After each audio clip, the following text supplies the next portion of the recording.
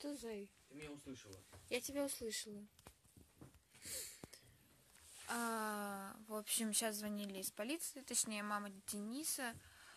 А, просят, чтобы мы... Ну, еще у нас минут 30-40 есть на размышления. Просят, чтобы мы вышли. Сейчас камера. А выходить так не хочется. Потому что будет